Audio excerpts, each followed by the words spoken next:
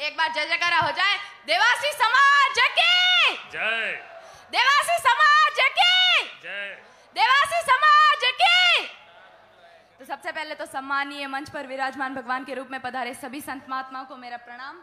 और यहाँ पे पधारे हुए मेरी माताएँ भाइयों बहनों और सभी बुज- बुज़ुर्गों को, को मेरा प्रणाम। मैं कोमल देवासी पादुकला नागौर से। मैं स्पीच शुरू करने से पहले आप सभी लोगों को बोलना चाहूँगी कि सांचोर घटना। कुछ हत्यारों के द्वारा लक्ष्मण जी सांचोर की निर्मम हत्या कर दी गई है। उन्हें अखिल भारतीय देवासी समाज से श्रद्धांजलि अर्पित करती हूँ और उन्हें सच सच नमन करती हूँ। और मैं हाथ जोड़कर शुक्रिया अदा करना चाहती हूँ रतन जी रानीवाड़ा का, जिन्होंने ये साबित करके दिखाया कि लीडरशिप क्या होती है।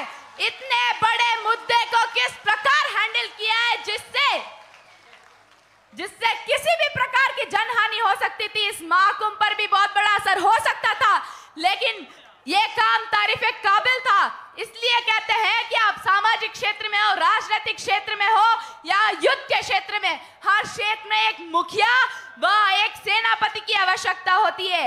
इसलिए मैं आप सभी लोगों से कहना चाहती हूँ कि आप भी अपना सही सेनापति चुनिए, क्योंकि जिस सेना का सेनापति मज़बूत, निडर, साहसी व सही निर्णय लेने वाला होता है वो सेना कभी नहीं हारेगी वो सेना कभी नहीं हारेगी। जैसे भगवान रामचंद्र जी ने खुद कमान संभाली और लंका पर विजय हासिल की महाराणा प्रताप ने अपनी सेना का खुद नेतृत्व किया मुगलों की लाखों सेना पर विजय हासिल की। हमारे छत्रपति शिवाजी सूरजमल जी जाट और ऐसे अनेक उदाहरण है। इसलिए मैं आप लोगों से कहना चाहती हूँ कि आप भी अपना सही सेनापति चुनिए क्योंकि एक सेनापति बहुत ही आवश्यक है।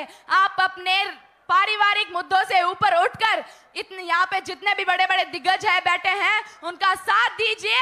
आने वाला राजनीतिक पार्टियाँ आपके कदम चूमेंगी।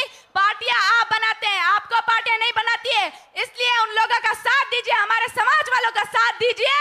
जय श्री राम। इसी के साथ मैं अपनी वाणी को विराम देती हूँ। बहुत बहुत धन्यवाद बिटिया कोमल को और